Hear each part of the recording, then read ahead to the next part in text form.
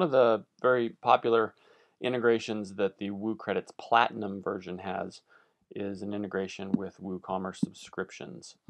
And a lot of our customers are using WooCommerce subscriptions in conjunction with WooCredits to create credit-based subscription packages. So uh, this video obviously assumes that you have WooCommerce subscriptions uh, installed and activated. And it also assumes that you have created credit bundles um, because you'll need those to set up the subscription product. So uh, if you haven't created credit bundles yet, there's another tutorial video uh, called Creating Credit Bundles, which will walk you through those steps. But assuming you have both the bundles created and WooCommerce subscriptions installed, uh, this video will walk you through creating a credit-based subscription. Uh, so what you'll do is simply hover over the WooCommerce Products tab and click Add New.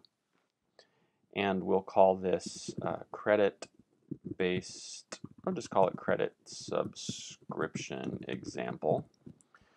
Uh, and, and what you're going to want to do is title it enter your title for your product, come down here, select the simple subscription, and before you do anything else, you'll want to save the draft. By saving the draft, it will then populate this credits plan, and those correlate to the, the bundles or the plans or the packages that you've set up under the Create Credit Bundle. So we have package one, 10 credits for 25 bucks, package two, 25 credits for 50, package 3, 50 credits um, for 75. And the way that you'll want to do this is you'll want to price this.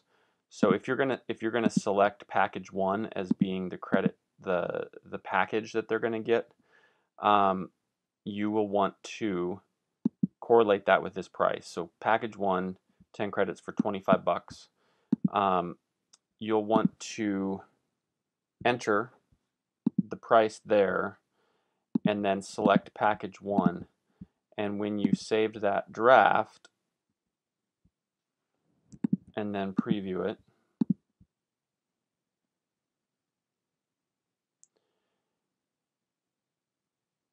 it's going to charge them the $25 for the month and allocate them the 10 credits. And then one month from that original purchase, it will charge them another $25 and add 10 more credits to their account. Um, so that's the way that you would set up a, a simple subscription.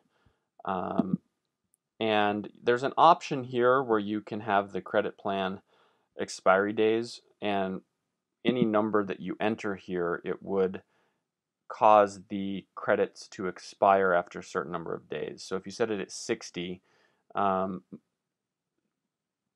credits that they had purchased 60 days prior would begin to drop off. Um, so that is a way to, you know, possibly incentivize them to keep the subscription active or incentivize the customer to continue to spend the credits. Um, so that's how you would do a simple subscription. I'm going to do another video very similar in, in the way that you would set it up for a variable subscription.